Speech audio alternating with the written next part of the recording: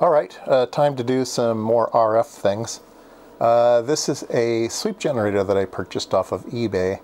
Uh, I've been looking at them for some time now and looking for a good price on one, and I found this one. Um, I paid $100 for it, and uh, that, I think that's pretty good. Um, it is dusty. Get the dust off of it. Um, so it is a I guess you'd call it a VHF generator. It goes to 110 megahertz.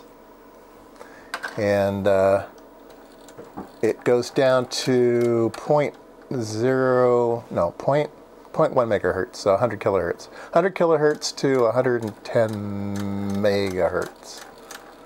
There we go. 111 megahertz, even better. Um, it does that in two ranges, so you can have uh, 0 to 11 uh, or 0 to 110.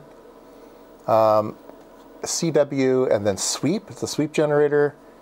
Um, it uh, allows you to mo modify the uh, uh, output level with a step attenuator and allows you to have the vernier. Uh, so if you want fine tuning, you can use the meter and the vernier internal 1 kilohertz modulation for FM and AM. Um, fast, slow, and manual sweep. And then triggering uh, manual trigger of with a button, line trigger or free trigger, free running. Um, sweep uh, ramp, sweep out ramp. Um, you can do external modulation uh, AM modulation, FM modulation, bring those in from the outside. And uh, RF output, yeah, so does it work? Uh, so let me move you over to the spectrum analyzer. So I have it set on CW, and as I crank it, it uh, uh, frequency moves.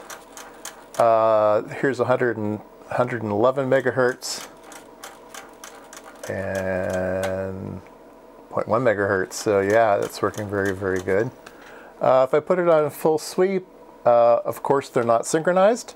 Um, I might be able to synchronize the two because I have a sweep output on the generator and I think I can synchronize that to the spectrum analyzer, but I'm going to try that in the future sometime. But we can just put a, a max trace hold there. You can see that uh, uh, we could just sweep a filter if we uh, if we wanted to wait a while for the uh, for the graph to fill in. Uh, somebody was commenting on an, uh, another video that I did about uh, what is a um, what does it mean to be a tracking generator as opposed to, to, why not just use any old generator? And that is that the spectrum analyzer has a filter that sweeps and the sweeper has a frequency that sweeps. And if the two don't line up you don't catch it.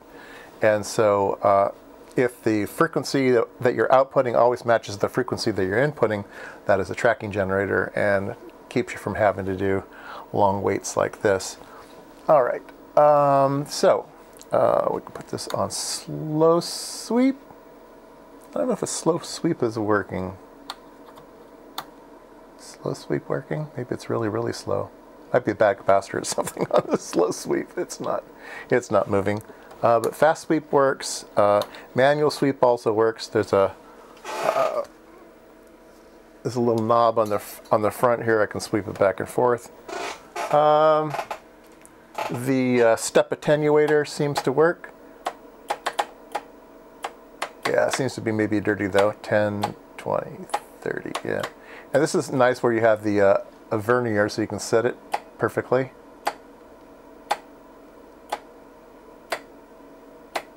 Ah, looks like it's doing good. All right. Um, let's see, we can look at modulation.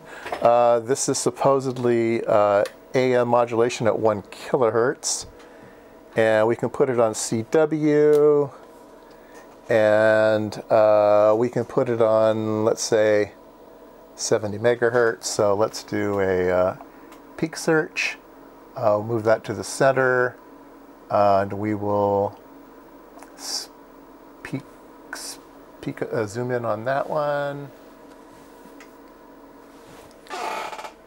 All right, I'm not sure about the uh, levels of the modulation. They seem might be like they're off. We'll, we'll put them on a different analyzer, but this is showing FM modulation and AM modulations. They, they are modulating. I'm just not quite sure if the one kilohertz really is one kilohertz or not, um, but we'll measure that somewhere else at some time.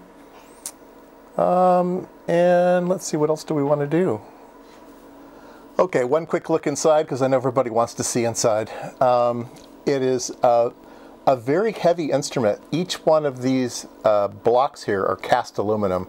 So there's a lot of big cast metal inside this thing and a heavy duty transformer. So um, yeah, everything is inside of shielded cans, so very reminiscent of the old days uh, where everything was shielded and everything was point to point with uh, with the SMBs. I think these are SMBs, SMCs. I forget. One of them snap-on and one of them's turn.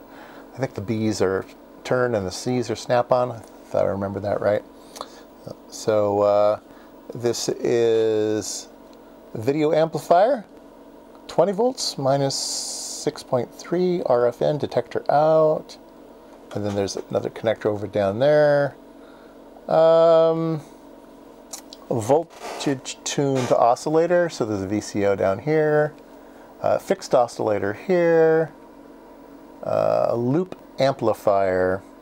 So I think it's uh, for uh, constant output. There's a loop amplifier with feedback.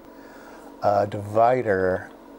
Not sure what the divider does. And then at the top we have a discriminator.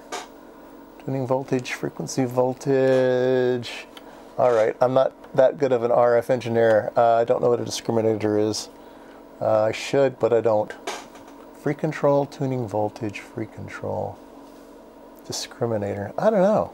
Some kind of voltage stabilization or something? I'm not quite sure. Um, and uh, yeah, all right. Uh, we'll just keep this video quick for the day. Alright, instead of wasting a bunch of time on this video of me learning how to run this thing, um, I'll take the time to figure out what works, what doesn't work, and everything. And on this, in the next video, we'll we'll go through we'll go through the feature sets and uh, do some more uh, critical measurements and stuff. Uh, see if everything is working as described. And uh, there's a crystal calibrator in here. We'll see if that uh, if that functions and how it works and stuff. But yeah, let me get the manual for this thing, and uh, I love these. I love these knobs with the crank on them. Um, yeah, okay, there you go. New toy of the day.